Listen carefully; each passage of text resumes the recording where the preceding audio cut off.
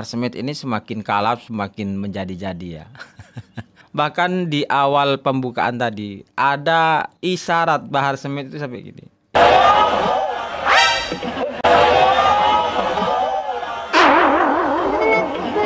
itu maksudnya apa itu? Saya lihat Roma Irama ngomong begini. Maulid itu adalah tradisi Maulid itu tradisi, tahlil itu tradisi. Bukan syariat, bukan syariat, tradisi. Sedikit saya bantah saudara-saudara. Jadi jangan-jangan terus mau dibilang Habib Bahar berkata satu Habib lebih utama daripada 70 kiai. Yang ngomong bukan Bahar bin Smith. Yang ngomong Syekh Abil Hasan As-Sindi. Jadi Habib itu jauh lebih mulia daripada menjadi ulama. Wow. Oke, assalamualaikum warahmatullahi wabarakatuh. Kembali lagi di channel AA DJ. Kepanikan Bahar Semit ini semakin menjadi-jadi ya setelah RA tidak mengakui.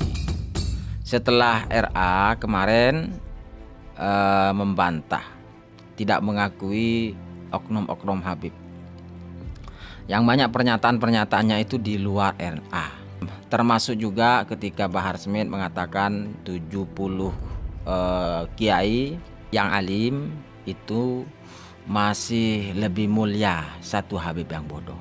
Itu juga ditentang oleh RA sehingga sekarang eh, Bahar Smith ini semakin kalah semakin menjadi-jadi ya. Ini ceramah terbarunya bahkan di awal pembukaan tadi ada isyarat Bahar Smith itu sampai gini. Itu maksudnya apa itu? Itu sebuah isyarat ya dari Bahar Smith apa maksudnya itu ya? Kepanikan Bahar ini sudah full. Bahar Smith sekarang ini sudah panik tingkat dewa sehingga dalam ceramahnya sangat kelihatan sekali dia tidak bisa kontrol ya. Hampir tidak bisa kontrol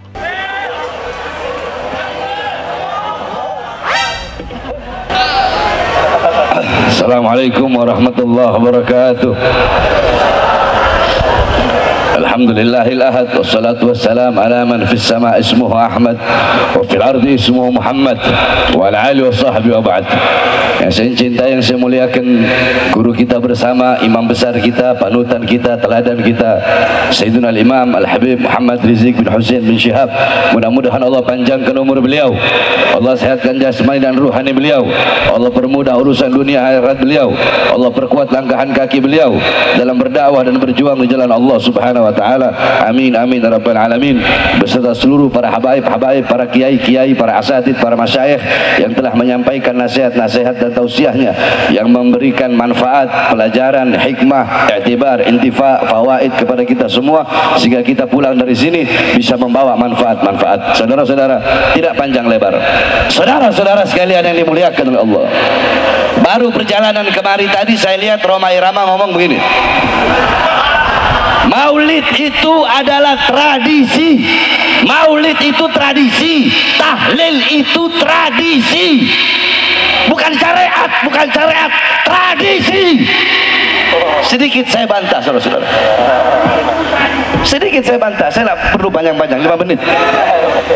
Saudara-saudara sekalian, jikalau intisari maulid adalah kita menceritakan sejarah Nabi Muhammad. Tadi pasti dibacakan maulid, burda. Itu sejarah Nabi Muhammad.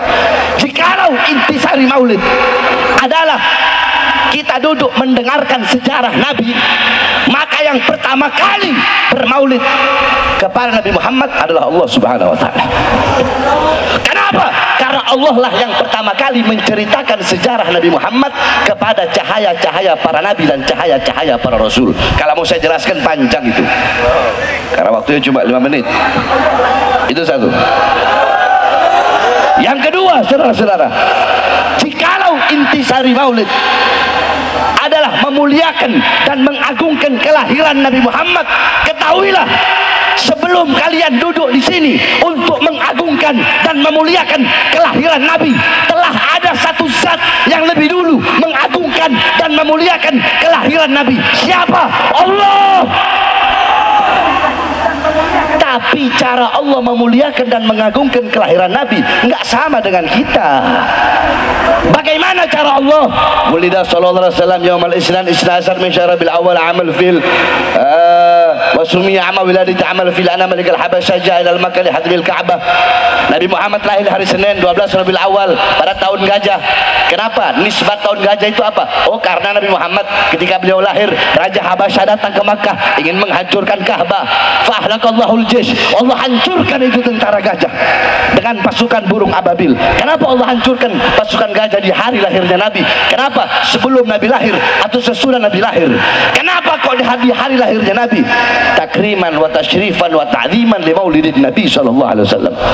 Untuk memuliakan mengagungkan kelahiran baginda Nabi besar Muhammad. Pohon-pohon yang mati Allah tumbuhkan. Sumur-sumur yang kering Allah pancarkan kembali airnya. Api majusi ribuan tahun tidak pernah padam. Allah padamkan di hari lahir Nabi. Kenapa? Itu semua. Apakah sebelum Nabi lahir? Mustahil. Enggak enggak mustahil bagi Allah kenapa di hari lahirnya Nabi? Untuk memuliakan dan mengagungkan kelahiran Nabi Muhammad. Jadi kalau inti sari maulid lubabnya maulid itu mengagungkan memuliakan kelahiran Nabi maka Allah yang pertama kali bermaulid kepada baginda Nabi besar Muhammad itu adalah hakikat daripada maulid saudara-saudara.